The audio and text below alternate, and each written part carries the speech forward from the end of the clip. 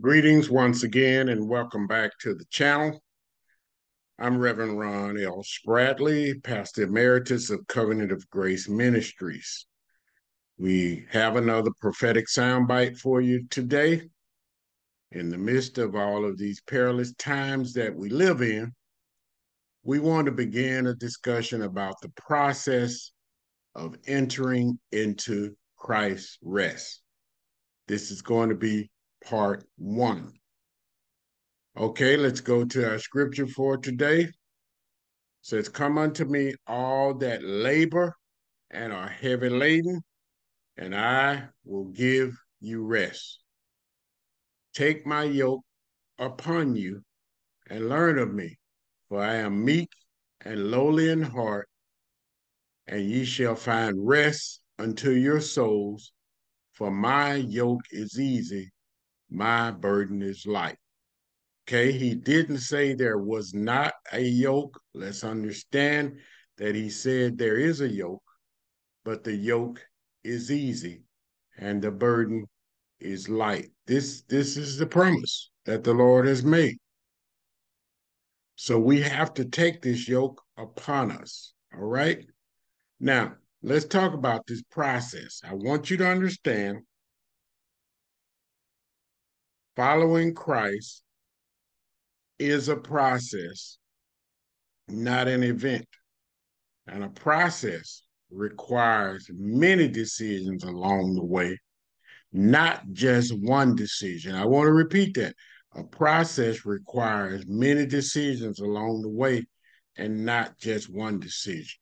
So let's lay out this process. First, step number one, we need to internalize and understand the contents of the Bible promise through study and meditation.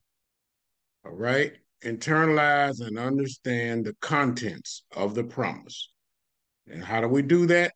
Through study and meditation. That's step one.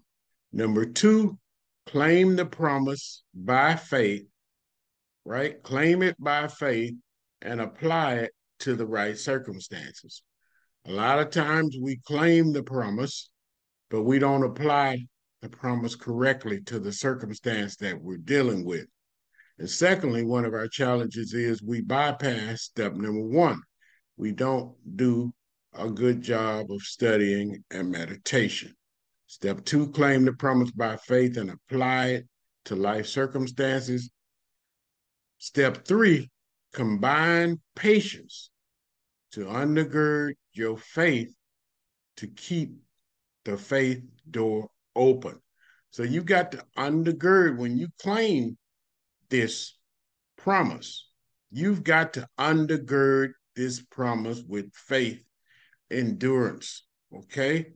So this promise can take root. This seed can take root in you. Okay. Once it take root, it can produce fruit. All right. So we undergird it. Once we say we believe it, we undergird it with patience to keep the faith door working, to keep it working.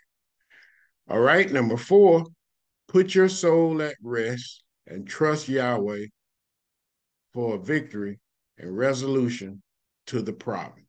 So this is the four-step process. I want to talk to you briefly about some key principles that can become an issue that will dig up your seed of faith that you planted. Unrest is primarily due to, let's talk about it, unbelief. We didn't spend adequate time with point number one. Unskilled in the word of righteousness. That again comes back to not spending adequate time in point number one. Deception. All right. The world is full of deception that can undermine your rest. Fear, anxiety can undermine your rest. We have to trust God. Sin and lawlessness. All of these things will disturb your rest. So we've identified one, two, three, four, five of these things that affect your rest. Okay, this is our first teaching on the process of entering into Christ's rest, we need to remember it is a process, not an event. May God bless you, keep you till we have another opportunity to bring you a word once again.